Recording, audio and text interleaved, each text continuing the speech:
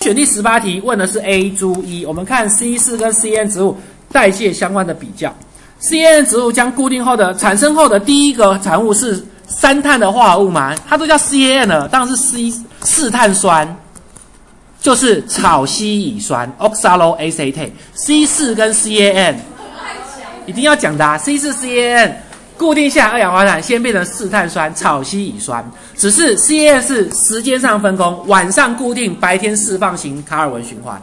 那 C 四植物是空间上的分工，叶肉细胞固定，维管束鞘细胞型卡尔文循环。一个时间上分工，一个空间上分工，但都是先固定成四碳酸草烯乙酸。所以 A 呢不是三个碳，是四个碳的，所以 A 不对。好，我们看你们问的猪哦，C 四植物是晚上开气孔吗？不不不不，晚上开气孔的是 C A N。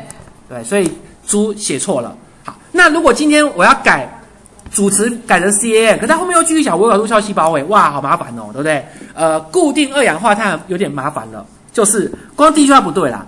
你这边讲的固定二氧化碳是指第一次固定成四碳酸，还是卡尔文循环的第一个动作二氧化碳的固定？所以其实第二句话有点争议喽。如果我指的是卡尔文循环当中的第一步二氧化碳的固定，它真的发生在维管束鞘细胞。因为维管束鞘细胞进行卡尔文循环，那讲后面这句话好像就没问题，但是第一句话已经不对啦。哦，C 四是白天开气孔，C A N 才是晚上开气孔。好，最后一个一选项啊，C N 植物固定二氧化碳产生糖类整个过程叫做景天酸代谢吗？不是，哈哈，说明一下哦，是这样的，C N 植物呢，当你的二氧化碳被固定下来之后，变成四碳酸草烯乙酸。